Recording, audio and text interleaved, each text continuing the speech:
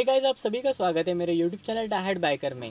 Friends आज का video होने वाला है स्पेसिफिक कार के इंटीरियर क्लीनिंग के ऊपर। तो फ्रेंड्स हम क्या करते हैं? कार का जो एक्सटीरियर क्लीनिंग है सिर्फ़ वो हम करते हैं। मतलब फॉर एग्जांपल बात करें तो फोम वॉश हो गया या फिर नॉर्मल वॉश या फिर डीजल वॉश तो फ्रेंड्स हम क्या करते हैं कि इंटीरियर की तरफ़ हम ज़्यादातर ध्यान नहीं देते। तो फ्रेंड्स इंटीरियर में बहुत ज़्यादा पार्ट्स जो है वो गंदे होते हैं। तो फ्रेंड्स पहला कार का जो इंटीरियर का पार्ट है, जो ज़्यादा गंदा दिखता है, वो है हमारे कार की सीट अगर कार की सीट हम इंटीरियर क्लीनिंग में क्लीन नहीं कराते तो काफ़ी गंदी दिखती है।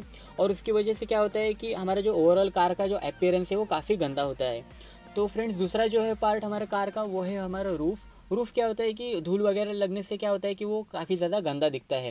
उसके बाद हो गया हमारा जो डैशबोर्ड है वो, मिट्टी के पार्टिकल्स वगैरह लगने से वो जो गंद, बहुत ज़्यादा गंदा दिखता है। और फ्रेंड्स मेन जो फैक्टर है वो है हमारे कार के मैट्स के नीचे का सेक्शन फ्रेंड्स हम सिर्फ़ कार में अपने फ्लोर मैट्स डालते हैं और अगर आपने उसके नीचे लैमिनेशन नहीं किया है तो आपका जो बेस है कार का फ्लोर मैट्स के नीचे वाला तो बहुत ज़्यादा गंदा हो जाता है मिट्टी के वगैरह लगने के कारण से। और ये जो फ्रेंड्स, मैंने कार का जो इंटीरियर का काम किया है, वो किया है रत्नागिरी में। और फ्रेंड्स, अगर आप रत्नागिरी से बिलोंग करते हो तो आप इधर जाके काम कर सकते हैं इंटीरियर क्लीनिंग का। इधर आपको पॉलिशिंग या फिर एक्सटीरियर क्लीनिंग का भी ऑप्शन मिल जाता है।